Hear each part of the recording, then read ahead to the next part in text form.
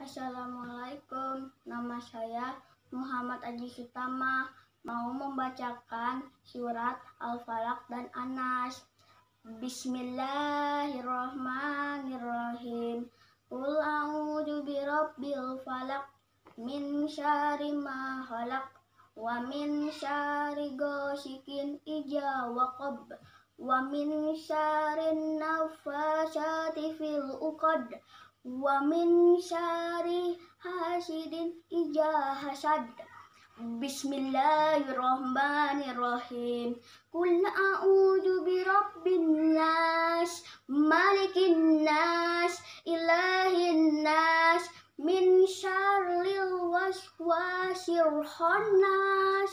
Allazi waswisu fi sudurin nas Minal jinnati wan nas Sadaqallahul azim.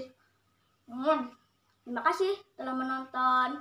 Bye bye. Assalamualaikum.